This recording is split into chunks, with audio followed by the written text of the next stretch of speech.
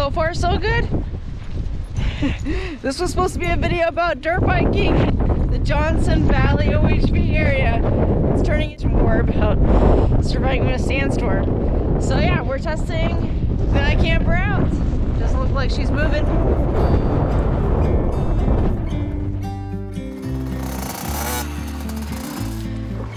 Here we go. about to leave. Already Good morning. For another morning. A place where we don't You ready? All right. About to see the world in action. We'll get away. Welcome to Johnson Valley OHV area. Sorry, it's been a couple of weeks now since we've really done a vlog. Uh, just because, you know, I have my mom out here and I want to be a little respectful. I don't like taking the camera out a lot with my mom, but we had a great time. Beautiful here this morning. Look at the the hot air balloons. We're in Sedona and uh, found this site off of Campendium. But it is very busy. It was crazy busy last night. We made our way out here. We got some OHV passes and we're finally going to be getting the dirt bikes out and I'm really excited about it. But yeah, so we're having a bit of a windstorm today and sandstorm. So I don't know if you can see this. I'm hoping that you can. Uh, yeah. We drove into this. We're kind of hiding behind this little little tiny hill right here, but um, we just had a few minutes of clearing, but here comes the sandstorm again. And I'm sure it's gonna be fun. So we're gonna test the iKamper on 35 mile per hour winds with gusts up to 65 miles per hour for the next 24 hours. I'm not gonna put the tent up yet. We're just gonna hang out in the van. I've made a play area for them in the back. All right, I got the tent all set up. There she is. So far, so good. this was supposed to be a video about dirt biking in uh, the Johnson Valley OHV area. It's turning into more about a, you know, it's turning into more about surviving a sandstorm. So yeah, we're testing the iKamper out. And I put the support legs in. I'll show you those uh, Uh, at some point. I'll climb in there and show you. But so far, so good. And she hasn't moved at all. And honestly, I don't even know if she needs the support. It's more for those random gusts that could be up to 65 miles per hour. I really don't know if it will be. Nothing to measure the wind out here, but it's pretty windy. As you can see, there's there's little bits of clearing, and then more coming in.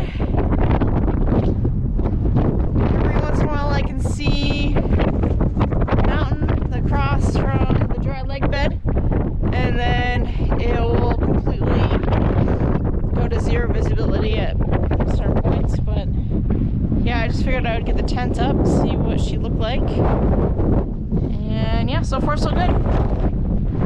Doesn't look like she's moving.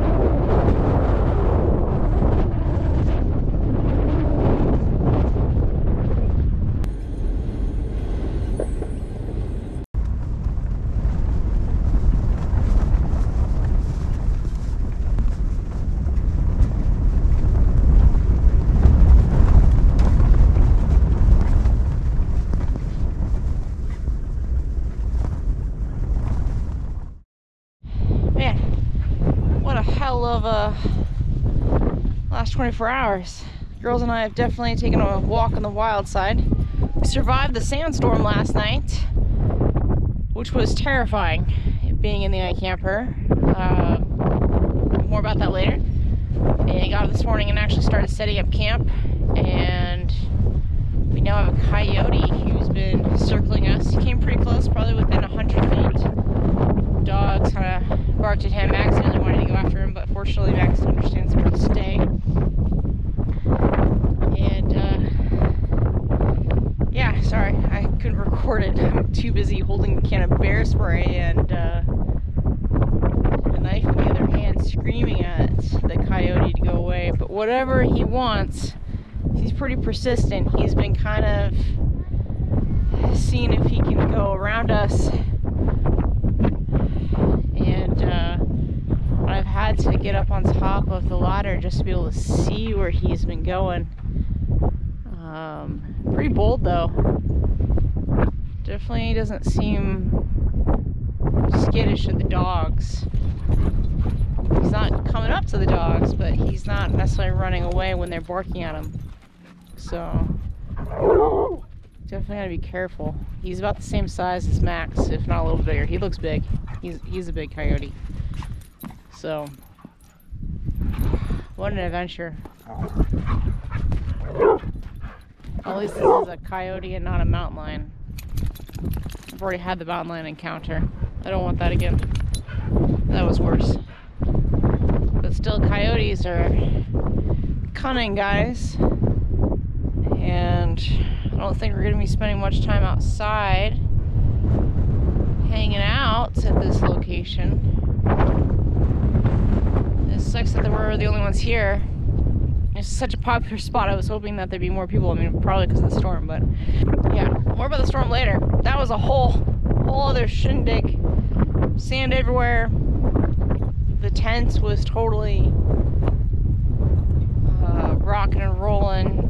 Uh, definitely pushing the iKamper to its max last night. I have no idea how strong the winds were. It was forecasted 35 miles per hour with gusts up to 65 miles per hour. Was scary it was terrifying. And now I've got a coyote to deal with, so I'm going to deal with that. Good morning, everyone. All right, so this is actually the second night after that storm. It the wind just kept going last night or yesterday, and it was just honestly just decided to spend the day relaxing, in mostly inside the van a little bit out. The wind eventually died at night, but gosh, man, sand everywhere. My face is raw from the sand and the wind. Oh, man. All right, so how'd the iKamper do? It did really well.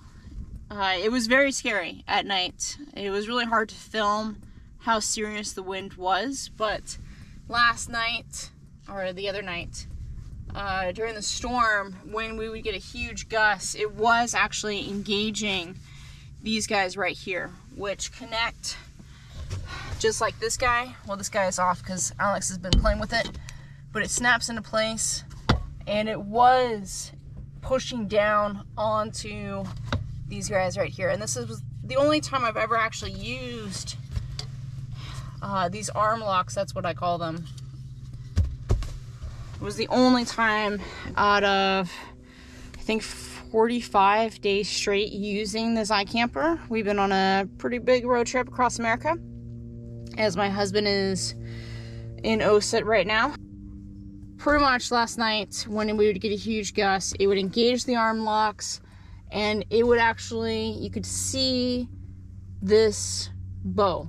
Um, this is the hard top. I think this fiberglass and you could see it kind of move and flex and then the whole frame would just flex and tweak. That's how strong the wind was last night. It uh, during that storm it was just crazy. Um, i never want to do it again. Fortunately you know we parked it in a way that had the shelf into the wind and so I mean, I looked over the iKamper and honestly, I can't see really anything wrong with it. Uh, it seems like it survived undamaged. I never want to do that again. We definitely had 35 mile per hour winds. It forecasted up to 65 mile per hour gusts. I have no doubt that we went well beyond 35 miles per hour I don't know how strong the actual winds were in this valley, but uh, that was my first sandstorm. John has stories about sandstorms in Afghanistan. I've never been through a sandstorm before. And uh, yeah, totally crazy. So, but it is what it is. We survived. I don't recommend doing that with an iKamper. Don't recommend doing that with a tent or even an RV at that matter. But we did it. So yeah. So overall, I've been very happy with the iKamper. This is an actual canvas material, solid aluminum base. And the mattress, you know, it is what it is. Um, if I can show you, right? It's nothing to write home about, but it actually gets the job done. Uh, I've gotten so used to sleeping on it that it's actually hard for me to sleep at a hotel right now on the super soft mattresses. And uh, and yeah. So the way we've set it up is I sleep on this side, the girls sleep on that side. There is a lot of room. You we've had it where John and I can sleep in here together with the two girls, no problem. Uh, my mom joined us for two weeks out of the trip. She slept up here with us. So really there's a lot of room for the whole family and I do feel safer up here. You know, from the day we had the mountain lion visit our camp to um, you know, to the coyote, right? Like it's not perfect.